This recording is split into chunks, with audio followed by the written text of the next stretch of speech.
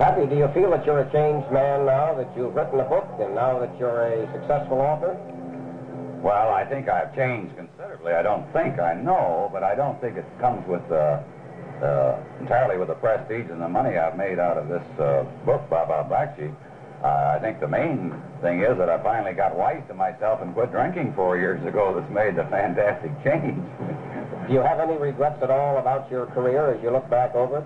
As I stated in the book, I am not a man of regret, and I have no reason to be a regretful person. Uh, it all comes under the heading of experience, and it's experience that I believe was necessary in order for me to ever get to a point where I could be contented. I believe, uh, just as I have in the past about those things, uh, about my military geniuses and uh, the people that spend their whole career having never said yes or no to anything unless someone told them what to say, and also a large percentage of the brass uh, are trying to take the glory, but also another privilege goes with that too that a lot of them forget, and that's is right in the book.